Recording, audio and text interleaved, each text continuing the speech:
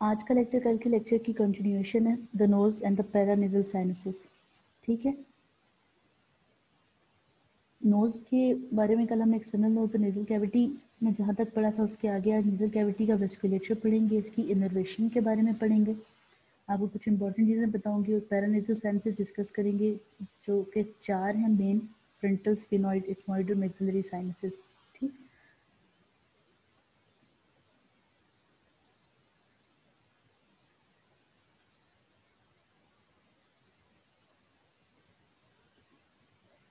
ठीक जो नोज़ की जो ब्लड सप्लाई है ना, बहुत रिच है।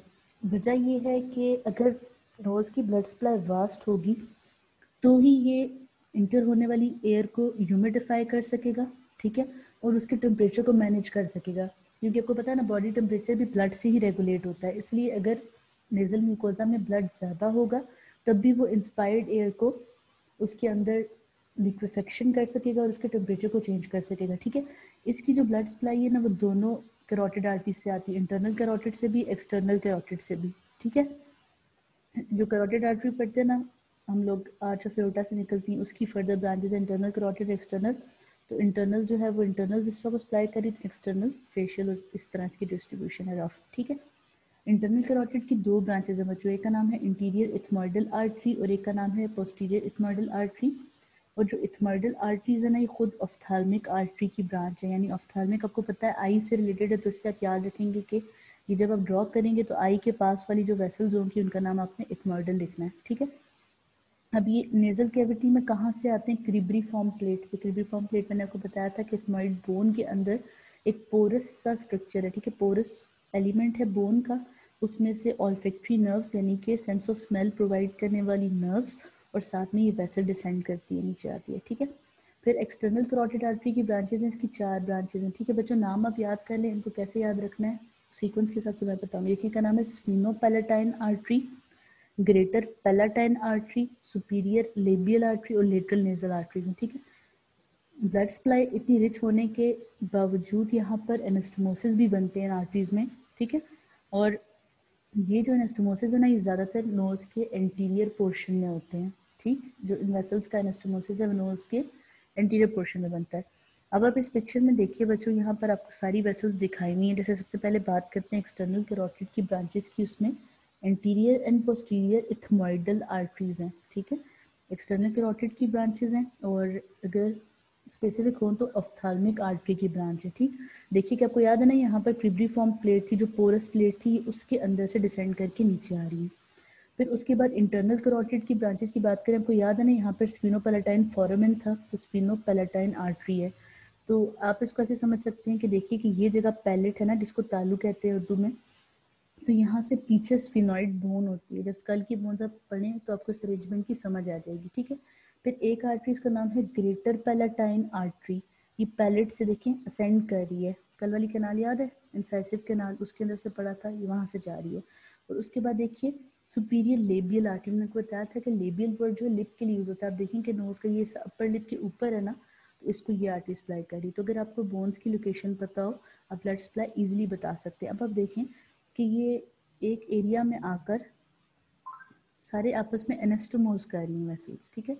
इस एरिया को हम कहते हैं लिटल्स एरिया ठीक है? और ये एरिया कहाँ है? ये नेजल सेप्टम पे है। नेक्स्ट टाइप की पहले कोई बात क्लियर कर दूँ, बच्चे की जो नोज़ की ब्लड सप्लाई है ना वो हम नेजल सेप्टम की भी पढ़ते हैं और नोज़ की लेटरल वॉल की भी पढ़ते हैं। ठीक है वेसल्स यही हैं, बस उसमें लेटरल वॉल में एक वेसल का डिफरेंस आता है। कुछ डिफरेंसेस में माइनर से वो मैं आपको क्लियर करती हूँ। इसलिए आपने पेपर में ये चीज़ माइंड में रखनी है कि आपसे जब नोज़ की ब्लड सप्लाई पूछें तो आपने क्या, किस, कौन सी बनानी है? अगर वो लिखते हैं कि illustrate the blood supply of nose तो आप दो अलग जगह पर, एक जगह पे सेप्टम की, एक जगह पे लेटरल वॉल की बनाओगे। लेकिन अगर सिर्फ़ सेप्टम या लेटरल वॉल की पूछे तो फिर वही ड्रॉ करोगे, दूसरी वाली नहीं बनाओगे। ठीक है? अब ये जो बच्चों एरिया ना लिटल्स एरिया इसी को कैसल बैक एरिया भी कहते हैं। अब इस एरिया की ये इंपॉर्टेंस है कि बहुत वेस्क्यूलर है ना, और यही नेजल वेस्टिब्यूल का एरिया है। जब लोग नोज़ पिकिंग करते हैं ना, नाक के अंदर उंगली डालते हैं, उनका ज़्यादातर यही एरिया टच होता है जाकर। और आप देखेंगे कि अक्सर ब्लीड करता है ज़्यादा।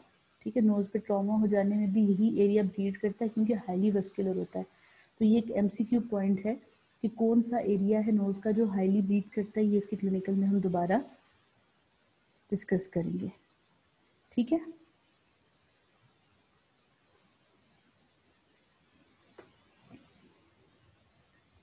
अब इस पिक्चर को देखिए, इसमें आप एक डिफरेंस देखेंगे कि इस पिक्चर में बच्चों कॉन्कास बने हुए हैं, इस तरह। ठीक है तीन कॉन्कास बने हुए जो कि पिछली पिक्चर में नहीं थे, क्योंकि ये वाली जो ब्लड सप्लाई है, ये नेजल सेप्टम की है, और ये जो कॉन्कास वाली सप्लाई है ना बच्चों, ये लेटरल वॉल की है। तो ये आपने फिर डिफरेंस आइडेंटिफाई भी ऐसे करना होता है, ठीक है? अच्छा क्वेश्चन है कि अगर कैरोटिड की ब्रांच है तो फिर अफ्थॉल्मिक की कैसे कैरोटिड की फर्दर ब्रांच अफ्थॉल्मिक उसकी आगे से ब्रांच है इंटीरियर थ्रोइडल आर्टरी जैसे वैसेस डिवाइड करती है ना सबक्लेवियन की ब्रांच एक्सिलरी उसकी ब्रांच मतलब उससे आगे फर्दर कंटिन्यूएशन में ब्रेकियल लेकिन उससे आगे दो ब्रांचेस है ना रेडियल और अल्नर उस तरह ये ब्रांचिंग है, ठीक है? इंटरनल करोटिड मेन आर्टरी है, उसके बाद उसकी सब डिवीज़न है अफ्थाल्मिक और उसकी आगे अब देखिए कि लेटरल वॉल में क्या डिफरेंस आता है, यहाँ पर भी उसी तरह इंटीरियर पोस्टीरियर इथमोइडल आर्टरीज हैं क्रिबिफॉर्म प्लेट से डिसेंड कर रही, उसी तरह यहाँ पर भी स्फिनोपेलेटाइन आर्टरी आ रही है, इसी तरह ग्रेटर पेलेटाइन आर्टरी आ रही है, लेकिन यहाँ सुपीरियर लेबियल आर्टरी भी है, लेकिन यहाँ पर एक चीज़ एक्स्ट्रा है कि यहाँ पर लिखा है lateral nasal branches of facial artery ठीक है? लेटरल नेजल ब्रांचेस एक्स्ट्रा है। वैसे सुपीरियर लेबियल भी फेशियल आर्टरी की ब्रांच है। ठीक है? और फेशियल खुद एक्सटर्नल कैरोटिड की है। ये काफ़ी जो हेड एंड नेक की ब्लड सप्लाई है ना काफ़ी आप कह लीजिए थोड़ी कॉम्प्लिकेटेड है ज़्यादा। ठीक है? लेकिन यहाँ लेटरल वॉल का कैसे पता चलेगा? एक तो लेटरल नेजल ब्रांच है यहाँ पर, और कॉन्कास से आप आइडेंटिफाई करोगे कि कौन सी वॉल बनी हुई है। अब ये पिक्चर आपके स्नेल की है। अब अब अगर एग्ज़ाम में आ जाता है तो आपको पता होगा कि हमने कहाँ से डिफ्रेंशिएट करना है। देखो, आपके इंटीरियर थ्मोइडल आर्टरी इधर भी है, ठीक है? इस तरफ़ भी है पोस्टीरियर थ्मोइडल ये और इंटीरियर अलग। यहाँ से डिफरेंस ये है कि सेप्टम पर उन्होंने सेपरेट दिखाई हुई है, थोड़ा ज़्यादा डिफरेंस है, क्योंकि सेप्टम वाली आगे तक जा रही है क्योंकि उसने लिटल एरिया में एनस्टोमोस करना है। उधर भी कर रही है, लेकिन वो इतनी ब्रांचिंग नहीं दिखाई हुई लेटरल वॉल पर, ठीक है? ब्रांचिंग ज़्यादा सेप्टम पर दिखाई हुई है। अच्छा उसके बाद देखिए कौन सी आर्टरी है, उसके बाद है स्पिनोपेलेटाइन ये उसी तरह है। बैक फॉरमन से आ रही है, यहाँ भी ये फॉरमन से आ रही है। लेकिन यहाँ डिफरेंस क्या है, यहाँ पर इन्होंने लिखा है कि सेप्टल ब्रांचेस हैं स्पिनोपेलेटाइन आर्टरी की। ठीक है? सेप्टल ब्रांचेस दिखती है उसको। फिर उसी तरह ग्रेटर पेलेटाइन आर्टरी है, यहाँ वाली पिक्चर मैंने लेसर पेलेटाइन का भी ज़िक्र किया, पुरानी में नहीं था तो देखिए लेसर पेलेटाइन ग्रेटर से थोड़ी पीछे बना देनी है। फिर जहाँ सेप्टम है, वहाँ septal branch from facial artery करना है। सुपीरियर लेबियल आर्टरी भी कर सकते हो आप इसको, ठीक है? Branch from superior labial artery और फिर ये ब्रांचेस फ्रॉम फेशियल आर्टरी आपने ज़्यादा पिछली पिक्चर से समझकर याद आपने इस पिक्चर को कर लेना है। इसी को ड्रॉ करने की प्रैक्टिस करनी है, ठीक है? क्योंकि एग्ज़ाम में ये अक्सर ड्रॉ करने को आ जाती है। अब आप देखिए लिटिल एरिया को मैंने कहा था ना कि कैसल बैक्स एरिया भी कहते हैं। तो देखिए, इस वाली पिक्चर में जहाँ नेस्टोमोसिस बन रहा है, उन्होंने इस एरिया का नाम कैसल बैक्स एरिया लिखा है, ठीक है? तो अब आप सोचेंगे, ये बोनी पिक्चर हम इतनी कॉम्प्लिकेटेड कैसे ड्रॉ करेंगे? तो आप सिंपली हेडिंग दीजिएगा कि नेजल सेप्टम है। इस तरह सेप्टम बनाइएगा। उसमें एक इस तरह का क्रैक शो कर दीजिएगा जो ये बताएगा कि सेपरेट बोन्स हैं ये जिनको पता है ना कि नेजल सेप्टम में कुछ कार्टिलेजेस हैं, कुछ बोन्स हैं। तो पता चल जाएगा कि आपने सेप्टम बनाया, आप उसको लेबल कर दीजिएगा साथ में। ठीक है? और दूसरी तरफ़ अगर आपने लेटल वॉल बनानी है तो उसमें ज़्यादा सिंपल है कि आप उसमें कॉन्कस शो कर दीजिएगा ऐसे। तो आपको क्योंकि वो ड्रॉ करने का या पेंट करने का नहीं कह रहे होते स्केच करने का, वो आप लिखते हैं अलस्ट्रेट अलस्ट्रेट का मतलब है कि बस आप एक नक्शा खींच दो कि चीज़ कैसे होगी। तो वो आप सिंपली बना सकते हो बस, ठीक है? और कलर्ड पेंसिल को किसी डिटेल में जाने की ज़रूरत नहीं है। सिंपली बस बनाए पिक्चर और उसमें लाइंस लगाकर, जैसे ये पिक्चर नज़र आ रही है, ऐसे बना दिया, ठीक है? जब वेन्स नोज़ की आर्टरीज को ही फॉलो करेंगी और ये किसमें ड्रेन करेंगी? टेरिगॉइड प्लेक्सिस में फेशियल वेन में या कवर्नस साइनस में। टेरिगॉइड प्लेक्सिस जब कोई याद है टेरिगॉइड फोसा मैंने आपको बताया था कल पिक्चर में टेम्पोरल बोन में, उसमें जाकर फेशियल वेन जैसा फेशियल आर्टरी है ना, जिसकी ब्रांचेज हैं आगे लेटरल नेजर उसी तरह फेशियल वेन है। और केवर्नस साइनस जो है ना बच्चों, ये ब्रेन के अंदर साइनस आपको पता है ना डायलेटेड वेन होती है तो ये केवर्नस साइनस ब्रेन की ब्लड सप्लाई को ड्रेन कर रही होती है। इसकी पिक्चर या डिटेल्स मैंने इसलिए नहीं डाली कि ये हेड एंड नेक का पोर्शन है। आर e में जो नोज़ का कॉम्पोनेंट है, उसमें ज़्यादा आर्टीरियल सप्लाई और इनर्वेशन पर फोकस किया जाता है। ये थोड़ा डिटेल टॉपिक है, इसलिए इसको डिस्कस नहीं किया। ठीक है, एक इंपॉर्टेंट पॉइंट है, वो ये है कि कुछ लोगों में जो नेजल वेन्स है ना, वो सेजिटल साइनस जो कि ब्रेन का ड्यूरा मैटर है ना, आपको पता है ना, तीन लेयर्स हैं dura mater arachnoid mater pia mater उनमें से एक साइनस के साथ कनेक्टेड होती है। ऐसे लोगों में नोज़ से इन्फेक्शन क्रेनियल कैविटी में भी जा सकती है, ठीक है? दोबारा मैं इस चीज़ को बताती हूँ। कुछ लोगों में वेनस ड्रेनेज इस तरह की होती है कि नोज़ का ब्लड जो है, वो मतलब नेजल वेन्स जो है, वो ब्रेन की जो ड्रेनेज वाली वेन्स है ना, उनको ज्वाइन करती है, ठीक है? इसी वजह से नोज़ का इन्फेक्शन ब्रेन में भी जा सकता है। तो वो पोटेंशियल ज़्यादा ख़तरनाक चीज़ होती है, ठीक है? तो इसमें एक इस एरिया को जहाँ पर नोज़ है ना, इधर एक ट्राइंगल भी बनता है, उसको कहते हैं डेंजर ट्राइंगल ऑफ़ फेस वो इंशाल्लाह क्लिनिकल्स में डिस्कस करेंगे डिटेल्स में, मुझे रिमाइंड करवाइएगा। जहाँ तक इनर्वेशन की बात है तो इसकी नोज़ की इनर्वेशन को, यानी कि नेजल कैविटी की इनर्वेशन को आप फंक्शनली दो पार्ट्स में डिवाइड कर सकते हैं स्पेशल इनर्वेशन है और general special is in the sense of special sense ठीक है, जैसे कहते हैं ना फाइव सेंसेस हैं। टच टेस्ट स्मेल और इस साइट वाले, उस हिसाब से। स्पेशल सेंसरी इनर्वेशन ये है कि नोज़ की एबिलिटी है स्मेल करने की। कौन करवाता है? ऑल फैक्ट्री नर्व ठीक है? ऑल्फैक्ट्री बल्ब जो है ना, ये ब्रेन का पार्ट है। जब मैंने आपको बताया था कहाँ लोकेटेड आपने पूछा था वहाँ तो ब्रेन होगा। क्योंकि ये ब्रेन का ही फोर ब्रेन का ही पार्ट है आगे से। इसलिए ये वहाँ लोकेटेड है। बेस ऑफ़ स्कल में इथमॉइड प्लेन भी बेस ऑफ़ स्कल का पार्ट बनाती है। बेस ऑफ़ स्कल स्कल का वो हिस्सा है, जिसके ऊपर ब्रेन रेस्ट करता है, ठीक है? और ये कहाँ है? ये क्रिब्री फ्रॉम प्लेट की स्पीरियर सरफेस पर है नीजल कैविटी के ऊपर। अब ऑल्फेक्ट्री नर्व्स की ब्रांचेस जो क्रिबरी फ्रॉम प्लेट में से नीचे की तरफ़ डिसेंड करते हुए आकर नर्व्स को स्पेशल इनर्वेशन देती हैं। कि सेंस ऑफ़ स्मेल दे प्रोवाइड कर सके नोज़ ठीक है? और आपके मज़े की बात बताऊँ, जो आपका सेंस ऑफ़ टेस्ट है ना, उसमें भी सेवेंटी परसेंट एलिमेंट जो है वो स्मेल का है। जिस चीज़ की स्मेल अच्छी होगी उस चीज़ का टेस्ट भी अच्छा होगा। तो यही वजह है कि जब आपको फ्लू होता है, आप स्मेल नहीं कर सकते तो आपको खाने का टेस्ट भी नहीं आता। ठीक है? जनरल सेंसरी इनोवेशन की बात करते हैं तो सेप्टम और लेटरल वॉल्स को कौन देता है? ये देती है नेजोपलेटाइन नर्व ये मैग्जिलरी नर्व की ब्रांच है। ठीक है? और मैग्जिलरी नर्व खुद किसकी ब्रांच है? अच्छा फेस की जो इनर्वेशन है ना, वो क्रैनियल नर्व से है। ठीक है? आपको पता है ना कि twelve pair of cranial nerves होते हैं, जो ब्रेन से आ रही होती हैं वो thirty one pair of spinal nerves होते हैं जिनको हम प्लेक्सिस में पढ़ते हैं। अब उन जो twelve pair twelve cranial nerves है ना, उनमें से जो फिफ्थ वाली क्रैनियल नर्व है ना ट्राइजेमिनल नर्व वो फेस पे सेंसेशन प्रोवाइड करती है, ठीक है?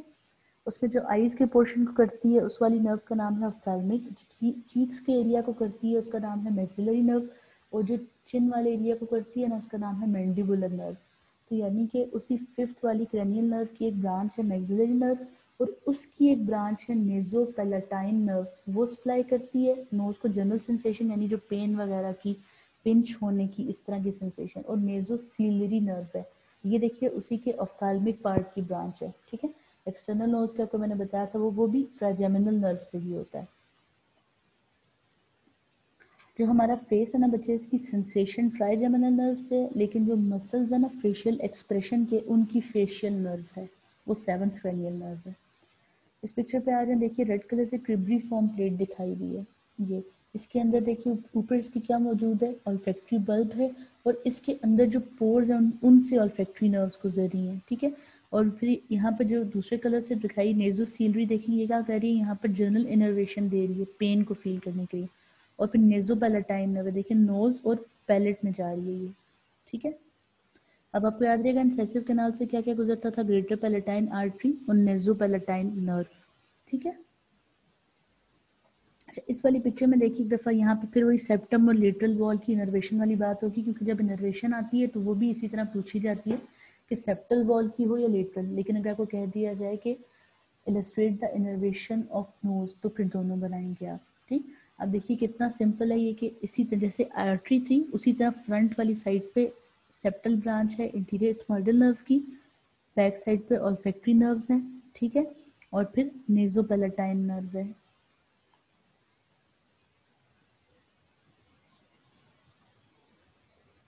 आगे ये भी स्नेल वाली पिक्चर में रिपीट करते हैं, ठीक है? क्योंकि आपने याद वही रखनी है तो उसी को डिस्कस कर लें, ज़्यादा बेहतर है। अच्छा जहाँ तक बात करते हैं नेजल कॉन्कास की उस साइड पर लिटल वॉल पर कौन सप्लाई करता है? तो यहाँ देखिए, यहाँ भी एंटीरियर थर्मल नर्व है, ठीक है? उसी की एक्सटर्नल नेजल ब्रांचेज हैं, आगे तक और फैक्ट्री बल्ब है इस तरह, ठीक है? स्फेनोपेराटाइन फॉरमन से जैसे आर्टरी आ रही थी ना बच्चों, उसी तरह नर्व्स भी आ रही हैं। बस एक चीज़ की हुई है कि इसको डिवाइड किया है posterior superior lateral nasal nerves पे posterior inferior lateral nasal nerves में, ठीक है?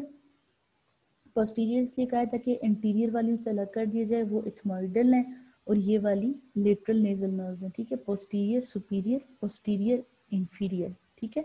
लेटरल साइड ऑफ़ नोज़ पे बैक साइड पे और ऊपर नीचे की वजह से सुपीरियर इंफीरियर ठीक है? उसके अलावा नेजल ब्रांच है इंटीरियर सुपीरियर एल्वियोलर नर्व की टूथ की रीजन की नर्व है, ठीक है? उसके अलावा इंट्रा नेजल ब्रांचेस हैं इंफ्रा ऑर्बिटल नर्व की। थोड़ी सी लेटरल वॉल की नर्वेशन मुश्किल है, लेकिन आप इसको अगर रिपीट करें ड्रॉ करें तो ये भी आपको आ जाएगी।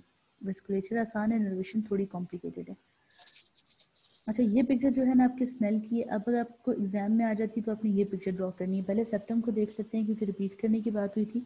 आप देखिए ऊपर क्या ऑल्फेक्ट्री बल्ब इसमें से ऑल्फेक्ट्री नर्व्स निकल रही हैं। ये ऊपर वाला पोर्शन क्लियर हो गया। आपको पता है कि ये ऑल्फेक्ट्री पोर्शन था, ठीक है?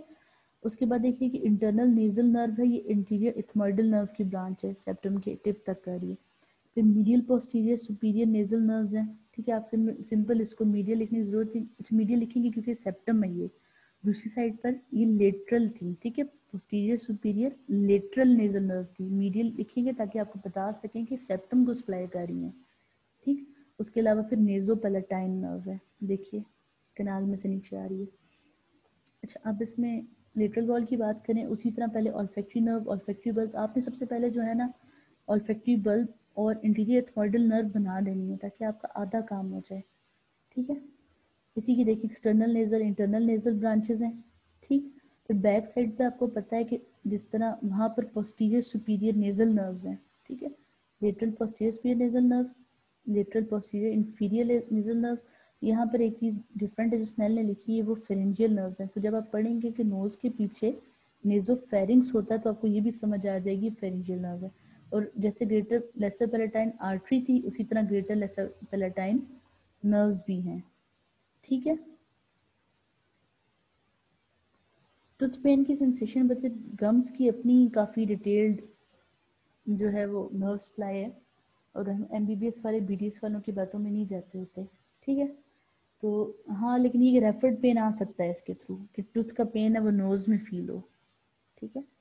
अक्सर जिस कान का दर्द, दांत में फील होता है, आप ईयर एक की कंप्लेन करो एग्जामिन करते हैं तो कहते हैं, कान ठीक है, बिल्कुल, लेकिन देखते हैं तो आपके नोज़ में कोई प्रॉब्लम होती है, गला ख़राब होता है तो रेफर्ड पेन होते हैं, ठीक है? अच्छा पैरानेजल साइनसिस की बात करते हैं पैरानेजल साइनसिस हैं क्या? ये एयर फ़ील्ड एक्सटेंशन हैं नेजल कैविटी की ही, ठीक है? और फोर पेड साइनसेस हैं और इनका नाम उस बोन के हिसाब से रखा जाता है, जिस बोन के अंदर ही है। जैसे मैग्जिलरी मैग्जिला बोन के अंदर है फ्रंटल साइनस फ्रंटल बोन के अंदर है। ठीक है? स्फिनॉइड साइनस स्फिनॉइड बोन के अंदर इथमॉइड साइनस इथमॉइड बोन के अंदर। हर एक जो साइनस है ना, उसमें स्यूडोस्ट्रेटिफाइड सीलिएटेड एपिथेलियम है और जो मिक्सअप हुई हुई म्यूकस क्रीटिंग गॉबलेट सेल्स के साथ। यानी कि जो नोज़ का म्यूकोजा है ना, बच्चों, वही म्यूकोजा साइनसेस के अंदर कंटिन्यू ठीक है? अब इस इस नल की ही पिक्चर है, इसको हम देखते हैं। देखें बच्चे, ऊपर की तरफ़ है फ्रंटल साइनसेस क्योंकि ऊपर वाली बोन का नाम फ्रंटल है। उससे पीछे देखिए इथमोइडल के तीन ग्रुप हैं एंटीरियर मिडल और पोस्टीरियर इथमोइडल साइनसेस ठीक है? उसके बाद स्फिनॉइड साइनस देखें थोड़ा पीछे करके दिखाई भी, क्योंकि थोड़ा बैक साइड पे लोकेटेड होती है और लिटरल व्यू में बेहतर नज़र आती है ये। फिर मैग्जरी साइंसेस देखिए सबसे बड़ी। अब यहाँ पर अब जब नीचे वाली पिक्चर में देखेंगे, जिसमें आपको शो किया हुआ है स्कल का कॉरोनल सेक्शन ठीक है? तो इसमें आपको पता चलेगा कि देखिए किस तरह स्कल के अंदर छोटी छोटी स्पेसेस हैं। देखिए, जैसे ये मैग्जिलरी स्पेस ठीक है? कॉन्कास देख लिया आपने, ये कॉन्कास ठीक? तो ये देखिए, अब आपको इसमें एक चीज़ बताएगी कि क्रिस्टा गलाय क्या चीज़ है? वो एथमोइडल बोन की प्रोजेक्शन है। इस पर आकर ब्रेन का एक पोर्शन अटैच होता है। वो न्यूरो के लिए छोड़ दें अगले साल के लिए, ठीक है? ज़िंदगी रही तो पढ़ाएँगे, इंशाल्लाह आपको वो भी। फिर मैग्जिलरी साइनस ठीक हो गया? अच्छा अब इन पैरानेजल साइनसिस का मकसद क्या है? इसके बहुत सारे रोल्स और कंट्रोवर्सीज रह चुकी हैं डिफरेंट लोग डिफरेंट चीज़ें सजेस्ट करते हैं। समरी ये है कि ये हेड का वेट कम करते हैं। वेट कम करने का ये फ़ायदा होता है कि मतलब इसको हेड को होल्ड करना आसान है, वरना सारा बोनी स्ट्रक्चर हो अगर तो वेट बेयर करना मुश्किल है। ठीक है? उसके अलावा ये कि ये नेजल कैविटी का इम्यून डिफेंस इंक्रीज करते हैं। वजह यह है कि इसके अंदर भी फ्लोरा होते हैं बैक्टीरिया गुड बैक्टीरिया होते हैं, ठीक है? उसके साथ रिप्लेसमेंट चलती रहती है, क्योंकि जो भी स्ट्रक्चर एक्सटीरियर में ओपन होता है, उसमें चांस होता है इन्फेक्शन का, ठीक है? उसके अलावा इंस्पायर्ड एयर को ह्यूमिडिफाई करते हैं, कि सिर्फ़ नोज़ में से ही गुजरे तो एयर को बहुत कम टाइम मिले नेजल कैविटी में रहने का, ठीक? और उसके अलावा ये क्या करते हैं कि ये वॉइस की वोकल रेजोनेंस मतलब बढ़ाते हैं, जो आवाज़ आपकी गूंजती है ना, इस वजह से होती है, ठीक है? ये इंटू मुझे नहीं पता कहाँ से आया कहीं कॉपी पेस्ट करते में भी आ गया, ठीक है? सिर्फ़ increasing resonance of the voice अब देखिए कि आपकी नोज़ जब ब्लॉक होती है, आप बात भी नहीं कर सकते। आपकी आवाज़ की क्वालिटी भी ख़राब हो जाती है और उसके अलावा जब आप बात करते हैं तो आपको प्रेशर सा फील होता है उसके अंदर। तो वो जो आपकी वॉइस की क्वालिटी है ना, वो पैरानिजल साइनसेस मेंटेन करती हैं रेजोनेंस करके, ठीक है?